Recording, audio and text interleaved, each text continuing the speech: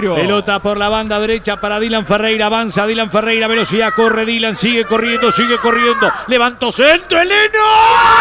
¡Gol!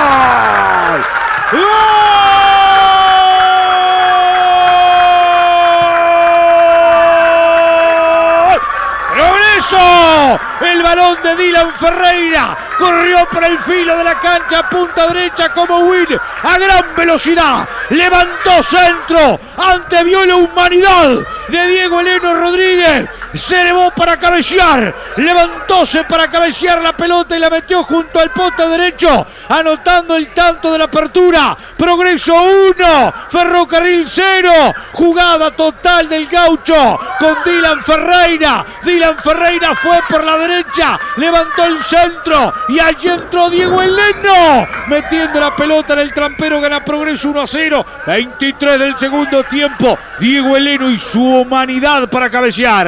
Jugada más vieja del fútbol, no por eso menos productiva. El desborde, el centro atrás, el de la muerte y el cabezazo del 9. Así fue, como siempre, como siempre será la jugada más vieja del fútbol. Termina en gol, saludó la bandera. Diego Leno, esa torre que tiene el gaucho para pasar a ganar y meterse definitivamente en la liguilla.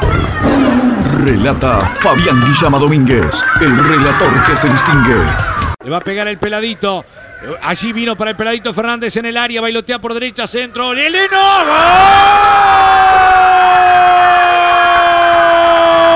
¡Gol! ¡Gol!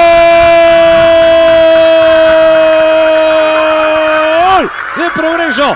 Diego Eleno Rodríguez y termina el partido. El balón que vino del tiro libre para el peladito Fernández la juega adentro y Diego Eleno la metió en el arco del Mario Rosa. Ha ganado el gaucho 2 a 0. Entró bien Diego Eleno. Entró bien Diego Eleno Rodríguez. Anota a los 23 el primero y a los 50 del segundo tiempo. El segundo progreso se metió en la liguilla. Ganó 2 a 0 frente a Ferrocarril en el Goyenola. Si bien hay desajustes defensivos en Ferrocarril, hay un gran movimiento de Diego Fernández que va a picar al vacío, que encuentra solo y hace otro movimiento para sacarse encima al marcador y tira al centro de la muerte. Y ahí estaba el 9, el centro delantero para cerrar el partido. Progreso 2, Progreso en la liguilla, Ferro 0.